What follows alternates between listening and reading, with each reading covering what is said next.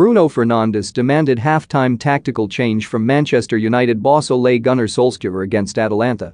Bruno Fernandes told Ole Gunnar Solskjaer to make a tactical change during half-time of Manchester United's comeback victory against Atalanta in midweek. The Old Trafford crowd booed off their team at the break, having watched them go 2-0 down inside 28 minutes in the Champions League group stage meeting. But United fought back in the second period, with goals from Marcus Rashford, Harry Maguire and Cristiano Ronaldo, securing a remarkable European comeback. After their dismal first-half performance, however, according to The Sun, midfielder and talismanic figure Fernandes demanded an alteration in approach from his manager. The Portugal international expressed his belief that the tactics needed changing and he had to be playing deeper in order to influence the play more. After the break, Fernandes had a hand in two of United's goals, providing a marvelous pass for Rashford to finish smartly and the cross which Edinson Cavani flicked on for Maguire's strike.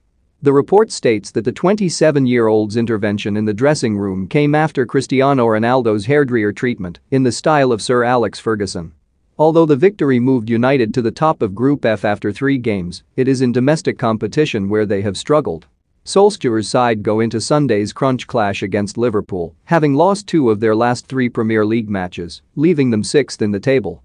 Paul Merson's Premier League predictions for Man United vs Liverpool, Arsenal and Chelsea Man United dealt Bruno Fernandes injury scare ahead of Liverpool clash. Barnes tells Solskjaer to start Man United star over Sancho and Rashford when quizzed on how his side can inflict defeat on their in-form opponents, Solskjaer said. A performance needs to consist of 90-plus minutes of attacking and defending. When you play against a team at the level of Liverpool, at the moment, they're in a great run of form and there's some individual skill you can almost not defend against. As a team, we have to be compact, aggressive, go out there and get every single dropped ball.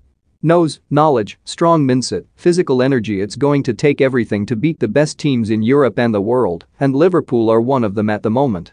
They're one of the teams we're chasing and we're trying to chase. What they've done in the last four years is something that we're striving towards, and we want to go past them. We ended ahead of them last season, they had a large spell of injuries, so now they're back to their best. More, Paul Ince slams Manchester United's midfield and names three players who would improve their team more. Jurgen Klopp hits back at Ole Gunnar Solskjaer and row over Manchester United's penalties. For more stories like this check our sport page. Follow Metro Sport for the latest news on Facebook, Twitter and